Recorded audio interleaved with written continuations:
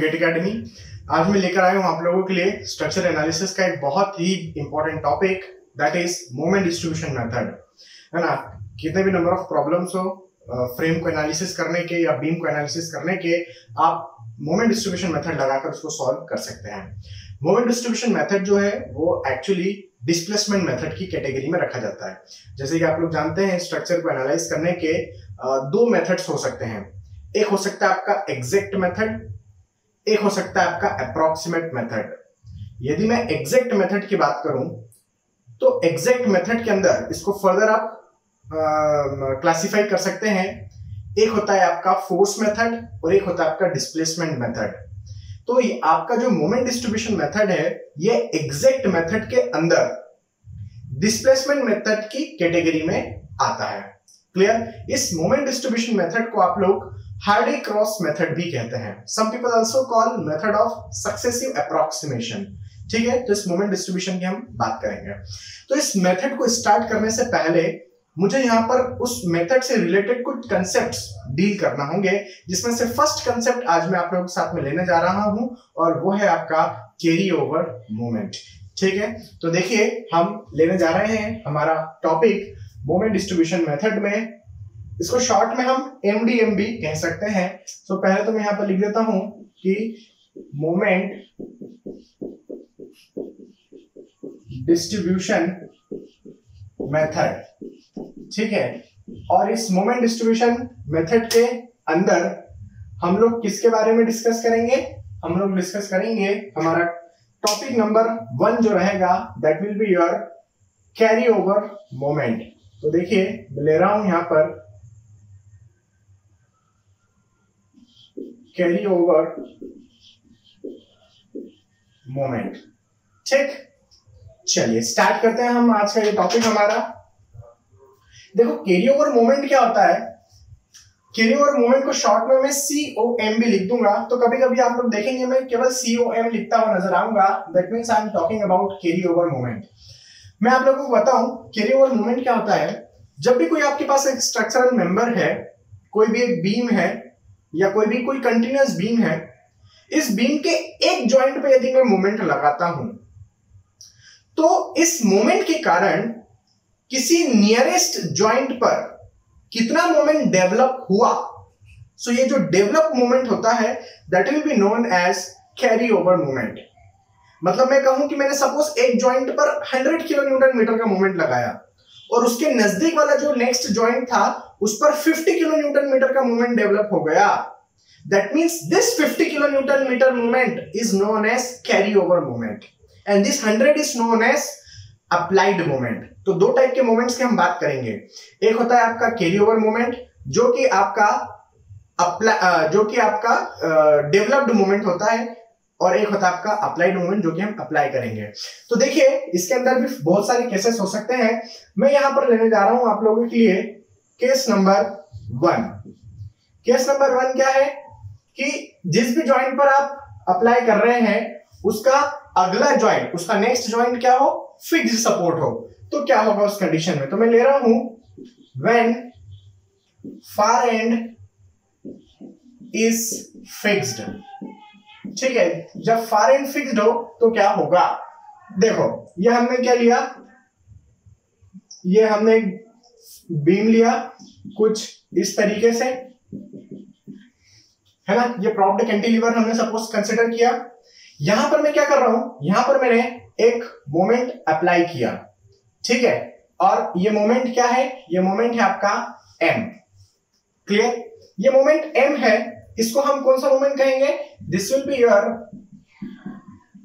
applied moment और इस moment को अप्लाई करने के बाद। यहाँ पर मैं मान लेता हूँ, कोई एक मोमेंट डेवलप हुआ होगा एम ए का।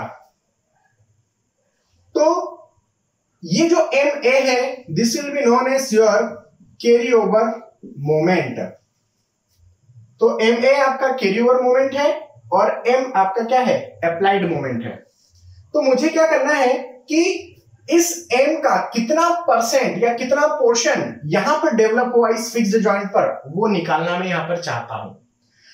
तो मैंने कहा कि मान लेता हूँ ये आपका जॉइंट ए है, इसलिए यहाँ पर एम ए मोमेंट आया होगा ये जॉइंट सपोज़ आपका बी है। मुझे इसको सॉल्व करना है। चूँकि ये रोलर सपोर्ट है या कोई भी सपोज़ ये हिंज सपोर्ट है, आप इसको रोलर भी ले सकते हैं, यहाँ पर आप हिंज भी ले सकते हैं नो प्रॉब्लम तो यहाँ पर एक वर्टिकल रिएक्शन डेवलप होगी। तो यदि वर्टिकल रिएक्शन डेवलप हो रही है तो मैं इस बीम को दो पार्ट में देखो कैसे तोड़ रहा हूँ। वन पार्ट तो इसका यह हो गया कि यहाँ पर इस पर मोमेंट लगा हुआ है एम का। So this value is your M और इसका सेकंड पार्ट क्या हो गया? इसका सेकंड पार्ट यह हो गया कि यहाँ पर रिएक्शन आएगा इस सपोर्ट के कारण। अब ये रिएक्शन में क्या ले रहा हूँ? ये रिएक्शन में डाउनवर्ड ले रहा हूँ। मान लेता हूँ मैं आरबी का लग रहा होगा। ना you people should ask me sir, आपने कैसे ले लिया आरबी डाउनवर्ड क्योंकि मुझे पता था कि आरबी डाउनवर्ड आएगा। आप चाहे तो उसको अपवर्ड भी ले सकते हैं नो प्रॉब्लम तो यहाँ पर देखो इसलिए मैंने आरबी डाउनवर्ड इसलिए लिया क्योंकि सोचो, यहाँ पर मोमेंट क्या है? एंटी क्लॉकवाइज मतलब ये बीम कैसा जाएगा? ये बीम जो है एंटी क्लॉकवाइज डायरेक्शन में ऊपर की तरफ़ मूव करेगा। चूँकि यहाँ पर सपोर्ट है, इसलिए ये बीम ऊपर की तरफ़ मूव नहीं कर सकता। इसलिए सपोर्ट इसको नीचे की तरफ़ खींचने को ट्राई करेगा। इसलिए ये जो बीम है, ये नीचे की तरफ़ रिएक्शन देगा क्लॉकवाइज डायरेक्शन के लिए। ठीक है? तो यहाँ पर आप देखिए, यहाँ पर ये बीम एंटी क्लॉकवाइज डायरेक्शन में मूव कर रहा है और ये जो बीम है, ये क्लॉकवाइज डायरेक्शन में मूव कर रहा है। अल्टीमेटली इस सपोर्ट पर आपका डिफ्लेक्शन की वैल्यू कितनी हो चुकी है? ज़ीरो तो यदि आप मुझसे कहें कि यहाँ पर ये डिफ्लेक्शन कितना आ रहा है इस जगह पर तो इस जगह पर डिफ्लेक्शन का जो वैल्यू है that will be delta equal to M L square divide by two E I होगा। और ये किधर की तरफ़ है? ये ऊपर की तरफ़ शो हो रहा है। अब इस तरफ़ से अभी आप डिफ्लेक्शन का वैल्यू पूछेंगे डेल्टा का तो ये वैल्यू कितना होता है? P L cube by three I होता है। तो पी की वैल्यू है यहाँ पर आरबी के बराबर। So RB L cube divide by three E I होगा। और ये किधर लग रहा है? ये डाउनवर्ड डायरेक्शन में देखने को मिल रहा है। दोनों को ऐड करूँगा। सम कितना मिलना चाहिए? ज़ीरो। तो देखो, मैंने यहाँ पर एक अपवर्ड, एक डाउनवर्ड है तो मैंने इसको यहाँ पर लिख दिया कुछ इस तरीके से। M L square divide by two E I minus का R B L cube divide by three E I equal to क्या होना चाहिए? ज़ीरो होना चाहिए। अब देखो, मैं इसको यहाँ पर सॉल्व करता हूँ। यदि मैं इसको सॉल्व करूँगा तो आप लोग देखना किस तरीके से ये लिखा जाएगा। तो यहाँ पर मैं इसको कंटिन्यू कर रहा हूँ। यहाँ से मैं आरबी का वैल्यू निकाल सकता हूँ क्या? बिल्कुल निकाल सकता हूँ। तो देखो RB will be equal to कितना बनेगा आरबी क्या आप लोगों को थ्री बाय टू एल की पावर थ्री है और यहाँ पर एल की पावर टू है मतलब मुझे कितना मिल जाएगा? Three by two M by L तो ये हमें क्या मिल चुका है? ये हमें आर बी का इक्वेशन देखने को मिला। आरबी की वैल्यू यहाँ तक निकालते आ गई यदि आप लोगों को तो अब आप लोगों को क्या करना है? अब आप लोगों को मोमेंट लेना है taking moment about A equal to zero equation of equilibrium लगा सकते हैं हम लोग। तो taking the moment about A equal to zero हम लेते हैं। तो देखो मैं लिख रहा हूँ taking moment about A equal to zero तो देखो क्या बनेगा? आरबी नीचे की तरफ़ लग रहा था तो clockwise moment RB so RB into L मान लेता हूँ ये जो लेंथ है बीम का, वो एल है. So RB into L clockwise इस जगह पर. और ये एंटी क्लॉकवाइज में एम मोमेंट था और यहाँ पर एंटी क्लॉकवाइज में एम ए मोमेंट था. तो टोटल तीन मोमेंट्स हमारे पास मौजूद है. तो देखो मैं यहाँ पर इक्वेशन लिख देता हूँ इसका. किस स्टाइल में लिखूँगा? कि क्लॉकवाइज में है हमारे पास आर बी इंटू एल फिर उसके बाद एंटी क्लॉकवाइज डायरेक्शन में हमारे पास है मोमेंट ये अप्लाइड मोमेंट था.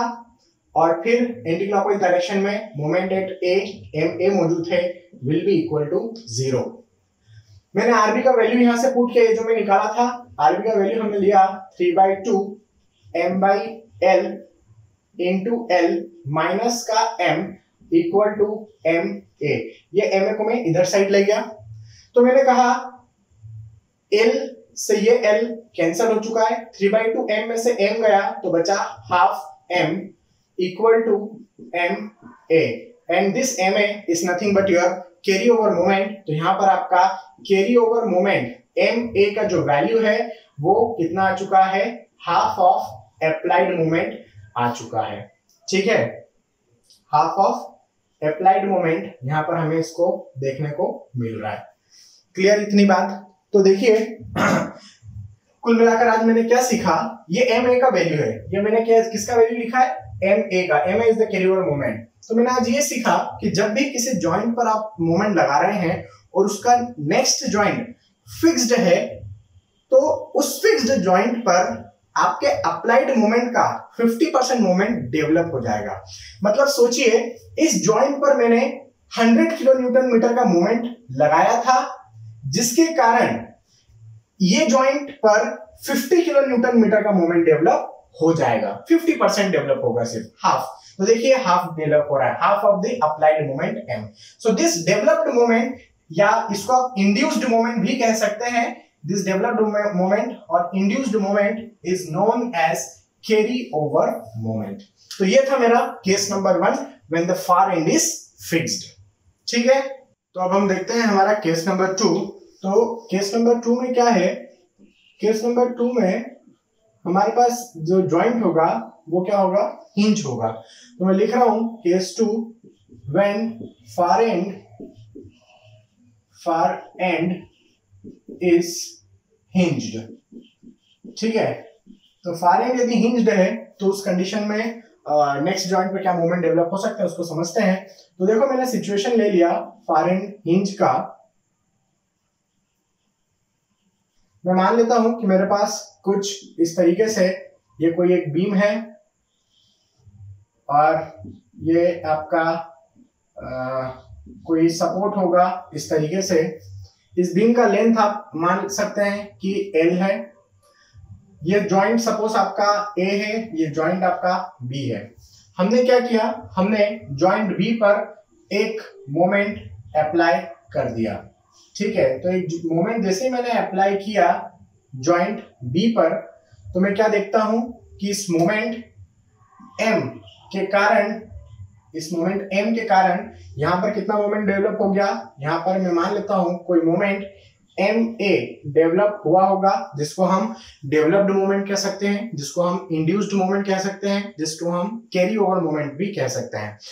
लेकिन एक ज़रूरी बात, और वो ये कि आपका जो जॉइंट ए है, वो क्या है? एक सिंपल सपोर्ट है, एक हिंज सपोर्ट है। और हिंज सपोर्ट पर या सिंपल सपोर्ट पर हमेशा बेंडिंग मोमेंट की वैल्यूज़ क्या होती है? Zero because they are pin connected है ना? ये पिन जॉइंट है। तो यहाँ पर मोमेंट डेवलप नहीं होगा। कुल मिलाकर कहने का मीनिंग ये है कि यहाँ पर एम ए का वैल्यू क्या रहने वाला है? आपके एम ए का जो वैल्यू है, वो यहाँ पर ज़ीरो रहने वाला है। मतलब यहाँ पर आपका कैरी ओवर मोमेंट कितना हो चुका है? ज़ीरो हो चुका है।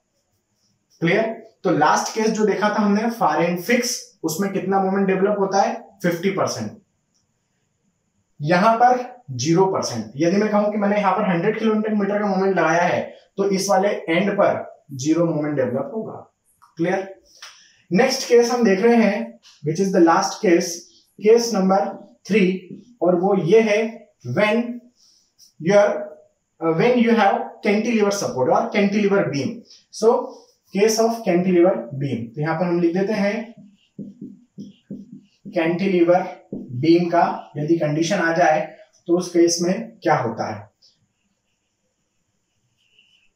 तो देखिए, मैंने क्या किया? मैंने एक कैंटिलीवर बीम लिया। यहाँ पर मान लेता हूँ ये ए है, मान लेता हूँ ये जॉइंट बी है। हमने फ्री एंड पर एक मोमेंट अप्लाई किया। तो देखो फ्री एंड पर हमने एक मोमेंट एम अप्लाई किया। This is your applied moment यहाँ पर हमने मान लिया कि एक मोमेंट एंटी क्लॉकवाइज डायरेक्शन में डेवलप हुआ होगा एम ए का। लगाया था एंटी क्लॉकवाइज में डेवलप भी मैंने सपोज़ मान लिया एंटी क्लॉकवाइज में। इसको सॉल्व करूँ तो देखो, मैं कैसे सॉल्व करूँगा? Summation of M A equal to zero लिखूं, क्योंकि मुझे तो एम ए का वैल्यू निकालना है। तो क्या लिखोगे? एंटी क्लॉकवाइज डायरेक्शन में है एम ए ये भी एंटी क्लॉकवाइज डायरेक्शन में है एम इक्वल टू ज़ीरो ऐसा लिखेंगे। यदि ऐसा लिखेंगे तो फिर आप देखिए, यहाँ पर यहाँ पर एम ए का वैल्यू कितना निकल आएगा? यहाँ पर एम ए का जो वैल्यू है, वो आ जाएगा आपका माइनस का एम है ना? आपका एम ए कितना आ गया?